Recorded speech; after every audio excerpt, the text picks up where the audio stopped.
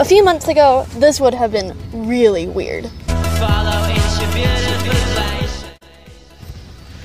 Unless you've been living under a rock for the past year, you know about Miss Rona. She's been terrorizing the world since December of 2019, and now we are all fed up with her. That doesn't mean that the virus is gone, though. There have been 287,395 new cases in the past week alone, and around 5.84 million cases total in the US. That leaves the question what should have we done to prevent the spread of the coronavirus? While it was difficult to understand and implement when necessary, the best strategies that a country could use to prevent the spread of COVID 19 are early testing, contact tracing, and strict quarantining. We can see this clearly when we analyze three countries' different strategies of how they handled the virus the United States, Italy, and South Korea. We'll take a trip back to March and check in on Italy. How are you doing, Italy?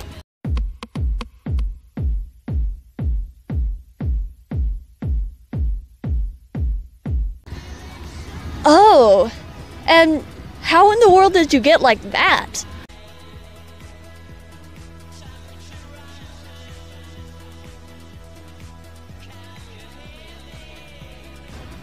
Oh.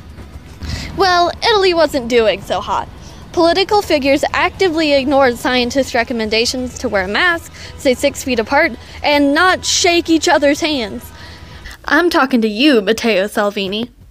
The government decided to shut down the country gradually instead of all at once. But that doesn't sound like such a terrible idea, right? Shut down only the highly infected regions and let the others be. Well, no, it's never that simple. Let me show you. Let's make three regions. Or let's do four regions. So, someone from outside goes into region one and gets infected. And then he starts spreading the infection to all the other people in his area. Well, the people in that area don't want to get infected, obviously, or go into a quarantine for a whole bunch of months. So they start leaving to go live with their mom or their aunt or their ex wife's cousin's babysitter or whatever. I don't know their life. But someone is accidentally infected and he start he or she starts spreading it to this region and this region and so on and so forth until all of whatever country is infected. So let's rewind.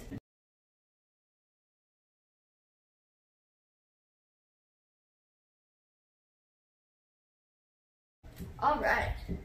So let's create those four regions again.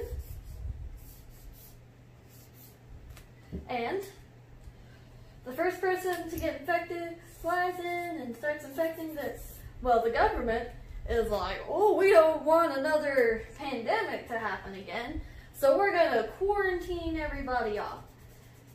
Oh no, that's a bad marker. They start shut, shutting everybody off, so they can't they can't get into anyone else's regions and they can't spread it to anyone else.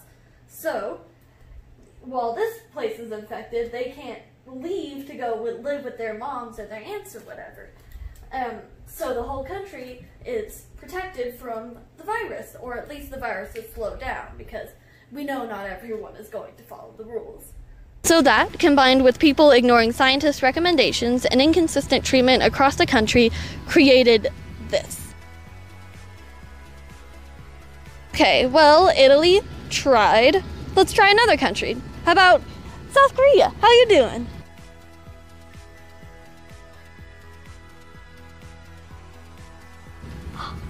Oh, that's awesome. People are wearing masks and staying six, six feet apart.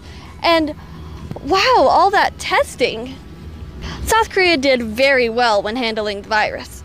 They started testing in the first week of February, just three weeks after the first case of the virus, and continued to test copiously after that.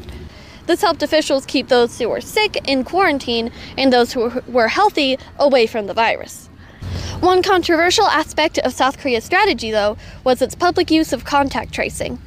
Once someone was positive, a team of people would ask them questions about where they had been, track them using security footage, and reported it to an app that told citizens where the infected people had been. This made it very easy for people to avoid getting infected, but it sparked a debate about personal privacy. Was it invasive for South Korea to track its citizens?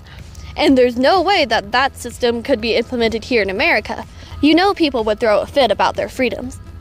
So anyone harassing me to wear a mask, you guys are violating federal law. You get that? Get that on camera. So, although their strategies are unlikely to be implemented in other countries, South Korea's use of early intervention and contact tracing allowed them to avoid this and go straight to this.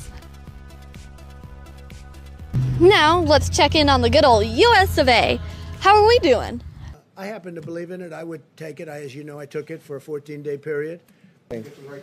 Right, and then I see the disinfectant where it knocks it out in a minute, one minute. And is there a way we can do something like that uh, by injection? Oh, that's nice. Anything else? If I get corona, I get corona. At the end of the day, I'm not going to let it stop me from partying. You know, I've been waiting. We've been waiting for Miami spring break for a while. Okay, we're gonna have to do a lot of work here. See, while we did do some things right, like being able to handle the influx of new patients and working fast on a vaccine, there are many more things that we did wrong. Like, who let this guy be president? Oh, yeah, it was us. Seriously, though, these comments were very dangerous. The FDA reported that it became aware of reports of serious heart rhythm problems in patients with the virus who were treated with the anti malaria drug, often in combination with antibiotics. So, maybe, just maybe, we shouldn't be encouraging people to take that. Also, don't inject disinfectants. Well, our president is telling people to take dangerous substances in order to get rid of the virus. But if you're educated, you should be fine. Right? Right? Well, shoot. The Department of Education went against the CDC's recommendations and had schools reopen in the fall. While schools are trying their hardest to follow guidelines about social distancing and mask wearing, educators and public health experts are expecting that schools will be going back to online soon because of a resurgence of the virus. So, while the US didn't have it as bad as Italy, we are getting close because of the government's decisions to condone the use of dangerous substances, lack of consideration for the CDC's recommendations, among many other factors. So, what can we learn from this? Based on all the lessons we've learned from Italy, South Korea, and the United States, we now know that early testing, strict quarantining, and having the people in power follow and recommend what scientists are saying are all the most important strategies to containing a global pandemic. Also, don't inject Clorox.